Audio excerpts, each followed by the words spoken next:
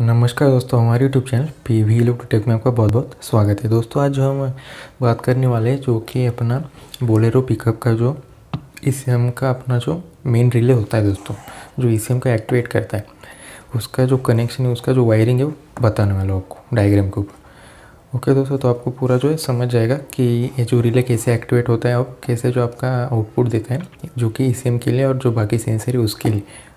Okay दोस्तों तो video आप जो आखिर तक देखिए तभी जो समझ पाओगे, जो कि आपके गाड़ी के अंदर चेक इंजन लाइट नहीं आता है बहुत सी बार तो क्या प्रॉब्लम रहता है? तो इसकी वजह से जो दिक्कत आती है, आपका रिले जो एक्टिवेट नहीं होता है, उसकी वजह से क्या आपका ई एक्टिवेट नहीं होता है, क्योंकि जो रिले आपका सप्लाई आगे देता है ई को तो आपका जो ई एक्टिवेट नहीं होगा तो क्या आपका चेक इंजन लाइट नहीं आएगा।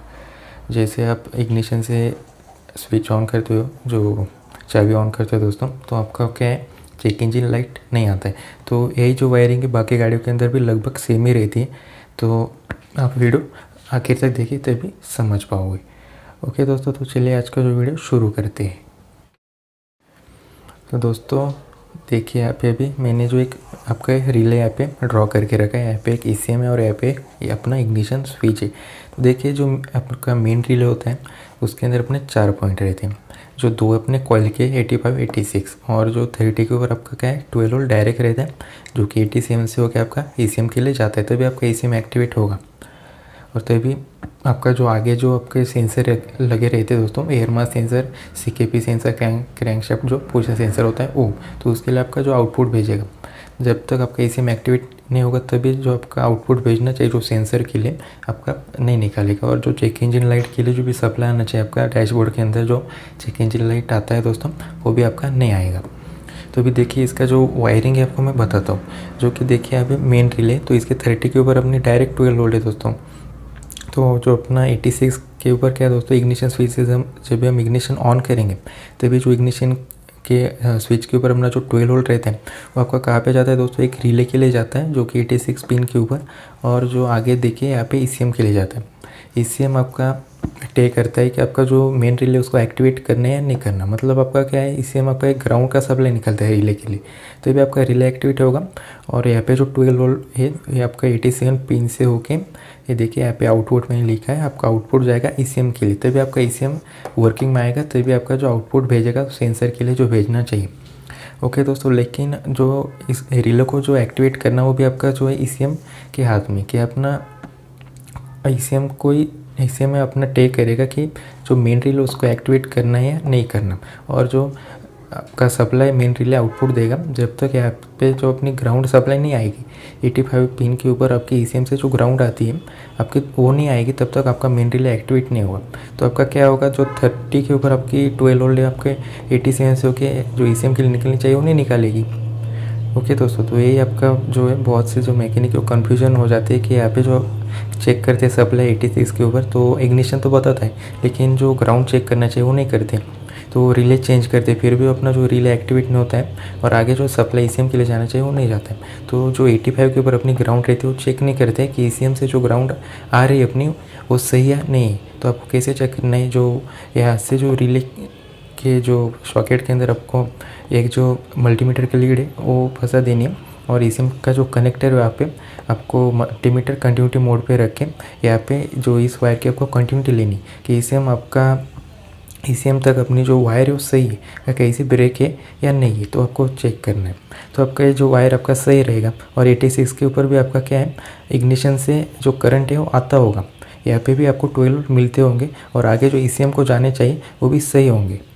ओके दोस्तों और ये जो एटी सेवन से जो आपके आउटपुट देना चाहिए, जो मेन रिले जो थर्टी के ऊपर जो ट्वेल्व वोल्ट है, आपका एटी सेवन से आउटपुट देना चाहिए, ये भी आपका सही रहेगा।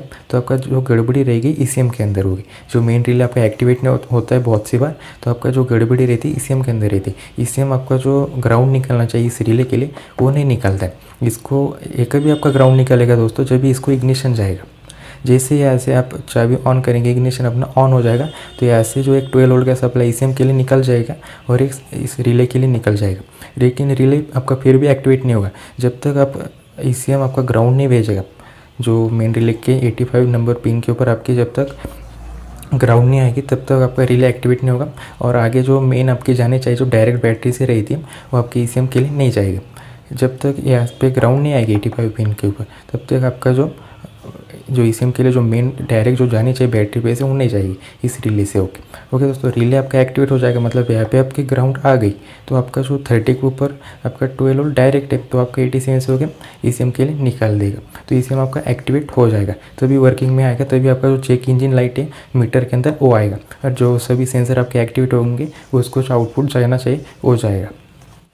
दोस्तों, आपका जो सब कुछ सही होने के बाद भी आपका जो मेन रिले एक्टिवेट नहीं होता है आप रिले भी चेंज करके देखते हो, फिर भी आपका जो मेन रिले एक्टिवेट नहीं होता है, यहाँ पे आपकी पॉजिटिव है, लेकिन यहाँ पे ग्राउंड नहीं रही थी, जो आपका ई e देता है।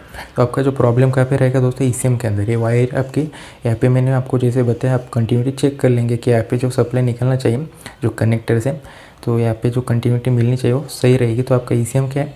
जो आउटपुट देना चाहिए एक जो ग्राउंड का, जैसे इग्निशन आप ऑन करेंगे तो एक सप्लाई आपका ईसीएम को जाएगा, और जो एक आउटपुट आपका ग्राउंड का देगा इस रिले के लिए मेन रिले के लिए तो आपका नहीं देता है बहुत बहुत सी बार ये प्रॉब्लम आता है। तो उसके अंदर आपका ख़राब क्या रहता है दोस्तों? ये जो ईसीएम है आपका इसके अंदर प्रॉब्लम होता है। तो आपको उस कंडीशन में ईसीएम रिपेयर करना पड़ता है। ओके okay, दोस्तों आप जो परेशान हो जाते हो कि भाई क्यों अपना जो मेन रिले क्यों एक्टिवेट नहीं हो रहा है अपनी जो चेक इंजन लाइट है क्यों नहीं आ रही और अपनी जो गाड़ी चालू क्यों नहीं हो रही? तो जो प्रॉब्लम रहता है दोस्तों ईसीएम के अंदर रहते हैं। ओके दोस्तों तो आशा करता हूँ आपको जो ये छोटी सी जो वायरिंग है आपको समझ में आ गई होगी। और वीडियो अच्छी लगी तो लाइक ज़रूर कर देना दोस्तों। चैनल को सब्सक्राइब नहीं किया हो तो कर दीजिए, क्योंकि हमारे चैनल पे ऐसे आपको ऑटो इलेक्ट्रिकल से रिलेटेड वीडियो मिलती रहती। ओके दोस्तों, आज की वीडियो में इतनी, मिलते अगली वीडियो में, तब तक के लिए जय हिंद, वंदे मातरम दोस्तों।